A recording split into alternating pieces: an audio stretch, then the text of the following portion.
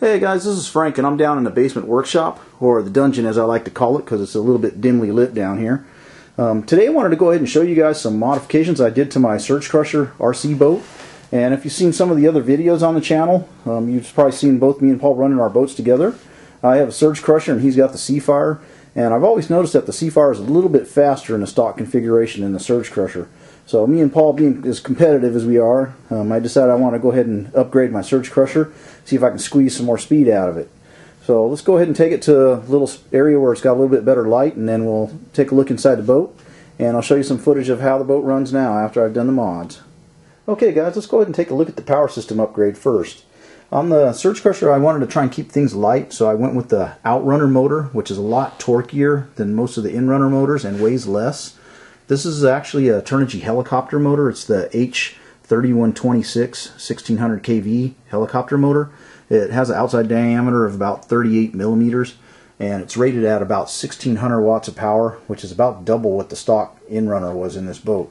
I think it was a 2000 kV uh, Inrunner rated at about 700, 750 watts of power.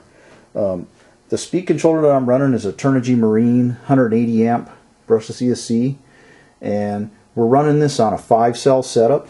I'm running a pair of Zippy Flight Max 2650 milliamp five cell batteries. These batteries are 40C rated, so they can handle the amperage of this uh, motor and ESC setup without any problems. And because I went down in KV, it allowed me to go up a little bit in prop size too.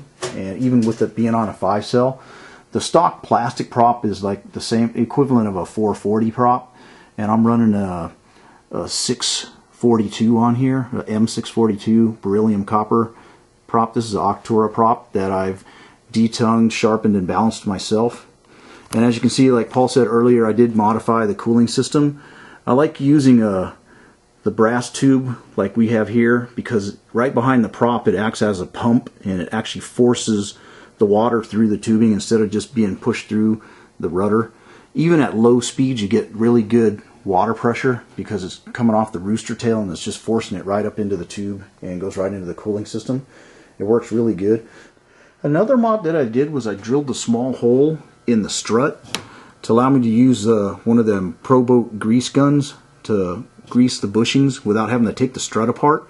You can get these at any of the local hobby shops. Uh, ProBoat makes it. It's a little grease gun that you just screw the tube of grease on and you just put the tip in the hole that you drilled and you just squeeze on that button up there and it will lubricate the bushings really good.